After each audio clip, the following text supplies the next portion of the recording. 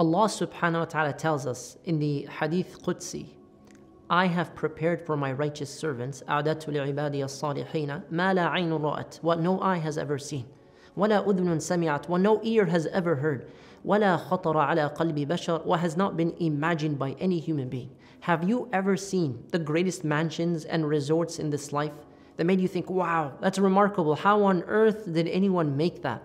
How was that designed? The architecture is phenomenal. That resort is so grand and magnificent, you're dreaming about it through the posts and reels of other people. That location is so expensive, you think to yourself, it's just a dream. And some people might even think, wow, that person must be super wealthy and super lucky. If all of the resorts of this world were combined from the beginning to the end of times, and you saw every single type of rich or wealthy or expensive experience in terms of homes, in terms of places and structures, all of that is nothing, absolutely nothing, compared to a small space in Jannah the size of a bow and arrow. Allah subhanahu wa ta'ala does not say the angels built for you. He says, أَعْدَدْتُ لِعِبَادِيَ الصَّالِحِينَ I have prepared for my righteous servants. The righteous does not mean the perfect. As-salihin are those who kept trying and trying and trying to purify themselves to a place of salah, a place of goodness. And it is an ongoing process, but it's one that has an everlasting return. So don't give up on purifying yourself for the sake of Allah, for Allah promises you the best of homes, palaces, and mansions unlike anything you've imagined.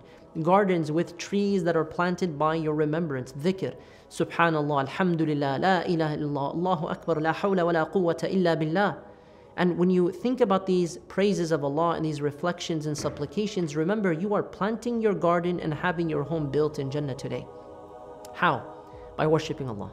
By worshipping Allah in the gardens of ad-dunya, and they are a lowly garden, it's the lowly life in terms of quality compared to the next life, but it is the highest and only quality of opportunity. Your only opportunity to gather good deeds, to have your home developed in Jannah, to purify your heart, and to become a better human being altogether. The question is, which palace does your heart lean to more?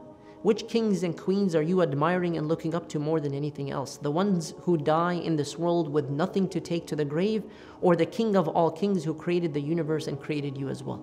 Gardens and rivers, springs and waterfalls, palaces and trees, gold and silver, ground of musk and pearls and emeralds and rubies. How can you not work for that? Plant your garden today through your charity, supplication, your dua, your dhikr. Have your home built today through your prayer, your good character, your honesty. Don't aim for the cheap life in your heart. And may Allah subhanahu wa ta'ala bless us with the best of homes in this life and in the next life.